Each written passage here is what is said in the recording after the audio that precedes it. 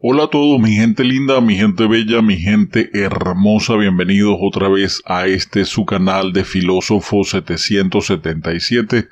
Y el día de hoy te voy a hablar nada más y nada menos que del mión del furrial. Sí, señoras y señores, vamos a tocar el tema del mión del furrial, que como ustedes lo leyeron en la, eh, en el titular de este video, sale con sus cuentos chinos, sus nuevas mentiras, porque toma parte de la realidad y la convierte a su manera en lo que él considera, según su óptica, que es su verdad, pero la verdad de Diosdado no es la verdad que todos tenemos.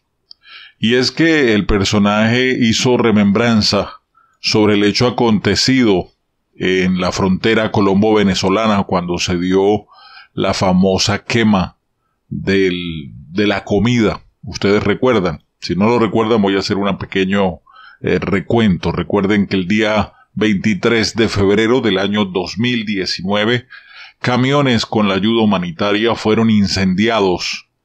Eh, hay versiones que dicen que fueron incendiados por los efectivos militares leales a Nicolás Maduro y gente del grupo chavista que estaban allí en la zona.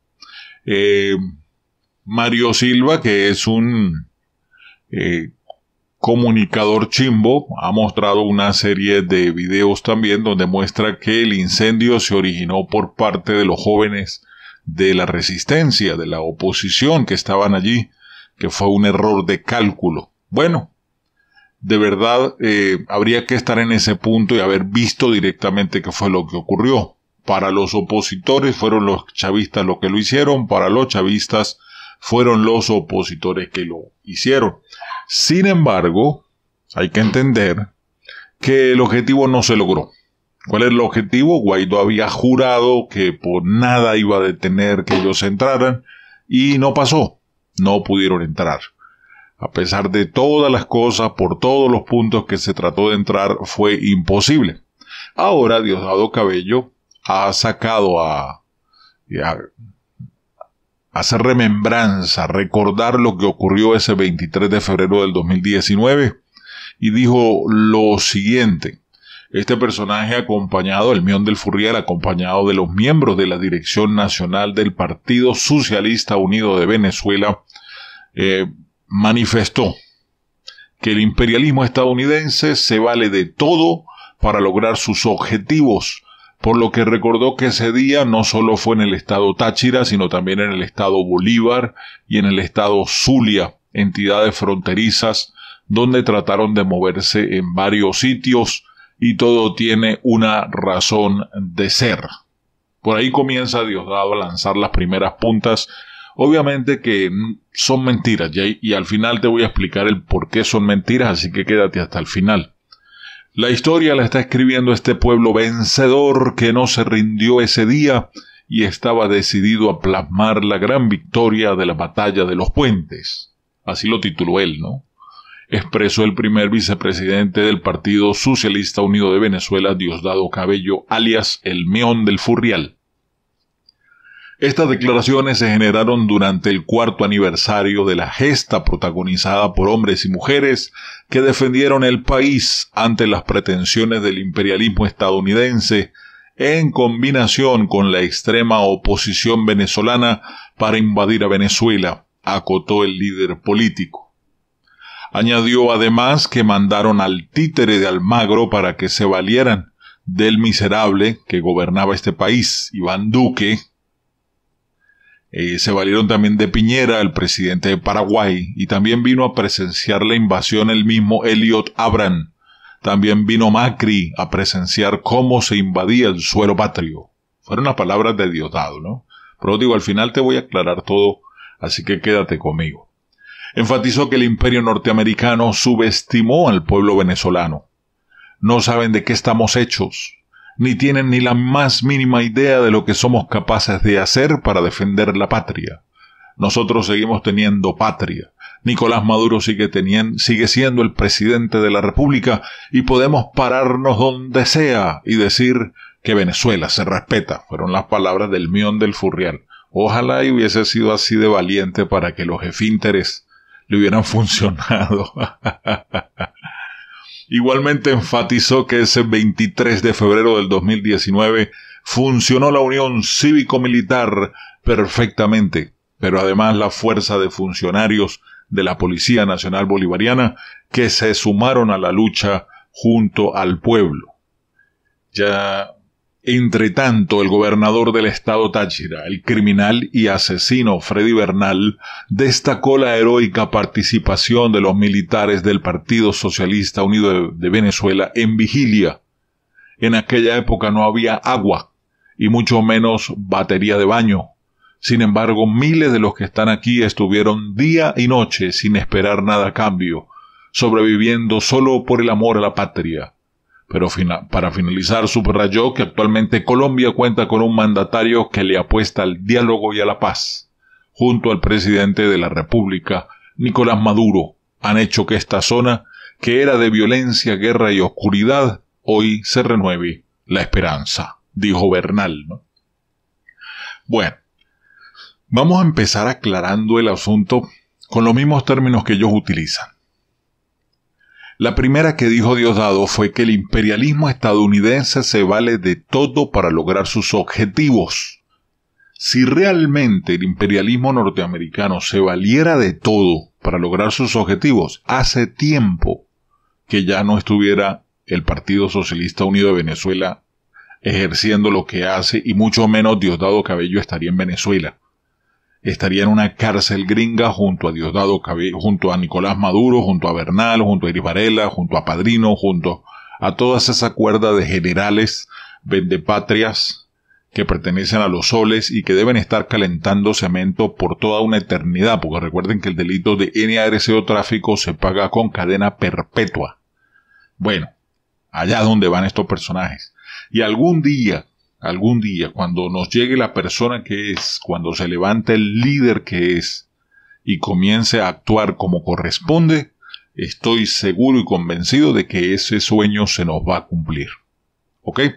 Entonces, este tipo dice que Estados Unidos quiso hacer lo que fuera, pero no lo pudo hacer, gracias a lo siguiente. Entonces vamos a entrar al otro punto, donde dice que mandaron de títere a Almagro, Almagro vino solito, no lo mandó nadie. ¿Sí? Donde utilizaron a Iván Duque, nadie utilizó a Iván Duque. Iván Duque siempre ha tenido eh, recelo contra la izquierda y actualmente, aunque no es presidente, Iván Duque sigue dando la, la pelea por los venezolanos y es algo que nosotros los venezolanos debemos agradecerle al presidente Iván Duque. ¿Qué vino el presidente de Paraguay a presenciar la invasión? Vino Elliot Abram hago la aclaratoria. Elliot Abraham vino, ¿por qué? Porque los recursos, la comida que iba a entrar en ese puente, lo aportó Estados Unidos. Y Elliot Abrams vino porque era un acuerdo que había entre Guaidó con el titán del norte, Donald Trump, para pedir, para, para ver qué eh, Guaidó le dijo a Trump que él iba a garantizar que iban a entrar la comida sí o sí. Y que de una u otra manera el hambre del pueblo venezolano iba a hacer que los que estábamos en el territorio venezolano pudiéramos caer en callapa, por así decirlo, eh, a la guardia por la parte de atrás, para hacer que la guardia dejara pasar los camiones, cosa que no ocurrió. ¿Por qué no ocurrió? Porque quien regentaba San Antonio y Ureña y la parte del Zulia por donde trataron de entrar y quien regentaba la parte del Estado Bolívar, los que manejan allí eran chavistas. ¿De qué se valieron ellos para impedir la entrada? Se valieron de los colectivos, que todos sabemos que los colectivos tienen herramientas de fuego, y Iris Varela se votó sacando un montón de presos de la cárcel de Santana, aquí en el Táchira, y los llevó hasta la frontera donde les los llenó de herramientas, de armas de fuego, y empezaron a echar plomo contra los que iban apoyando la entrada de los camiones que no tenían armas de fuego, no tenían herramientas de fuego de ningún tipo.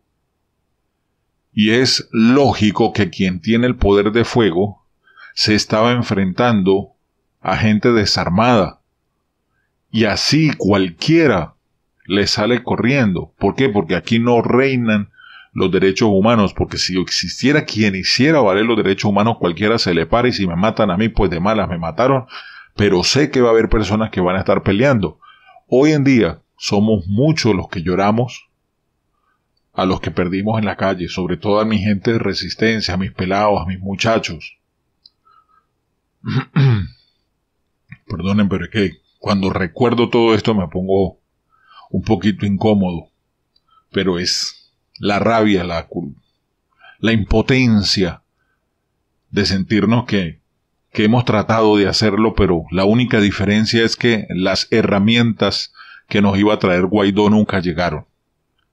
Y nosotros entrenamos, nos preparamos, nos capacitamos, creamos planes, hicimos estrategias, pero las herramientas nunca llegaron.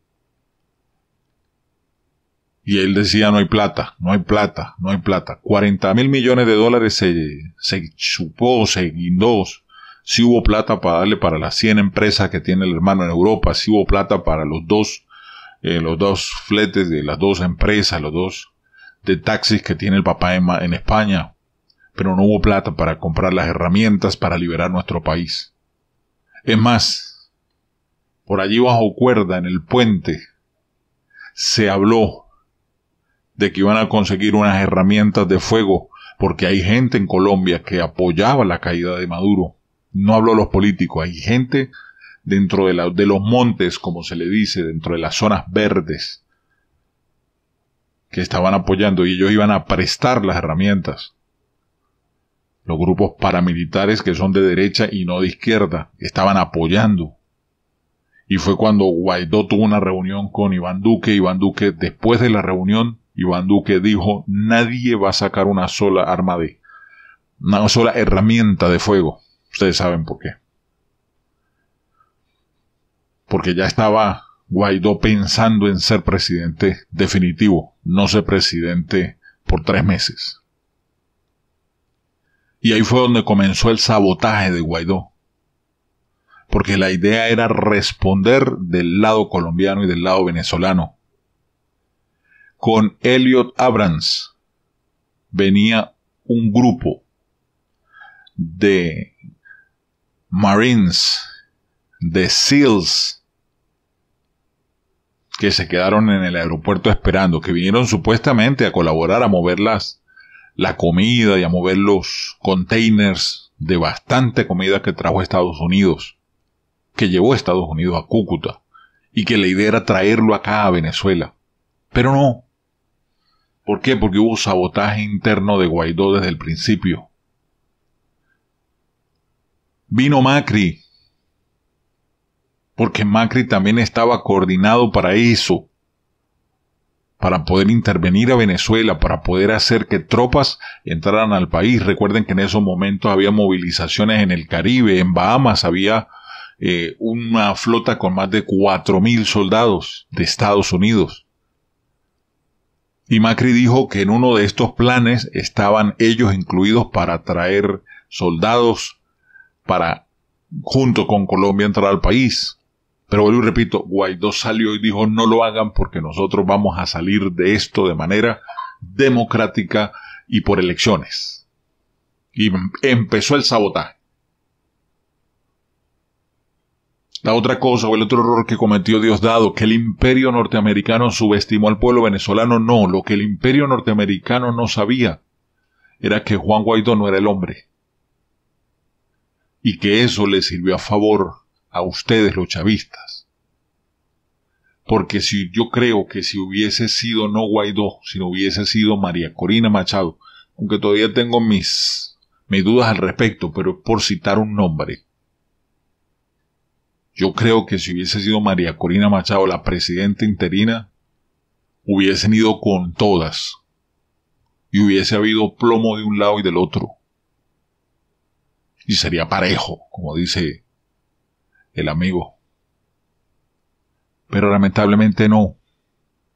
Lamentablemente lo que pasaban del lado de Colombia y los que estaban del lado de Colombia tenían que esconderse ante lo que estaban haciendo los criminales del lado de Venezuela y los que esperaban que iban a caer por la retaguardia nunca cayeron, porque sabían que los que estaban en el puente tenían herramientas de fuego y nadie iba a salir sin eh, desarmado, nadie iba a salir sin, sin con qué respaldarse. ¿Con qué? Con una piedra. Piedra versus bala, ¿quién gana? Bueno, esta es la verdad, esta es la mentira que dijo Diosdado Cabello, ahí tienen su verdad y se las dejo. Un abrazo rompecostillas, pendientes porque hoy comenzamos con dos nuevos segmentos para este canal. El segmento de las reflexiones y otro segmento que se los tengo de sorpresa. Vamos a subir dos videos diarios, uno de reflexiones y otro adicional en una lista aparte, porque este canal de Filósofo 777 va a ser como una especie de canal de televisión donde vas a poder encontrar reflexiones y ciertas cosas que te van a gustar aparte de las noticias, ¿ok? Así que regálame un like si quieres apoyar mi trabajo. Hay un equipo grande trabajando porque este canal siga creciendo cada día más. Sí, agradecido con ellos y agradecido con ustedes. Me despido. Un abrazo rompe costillas. Bendiciones para todas y todos.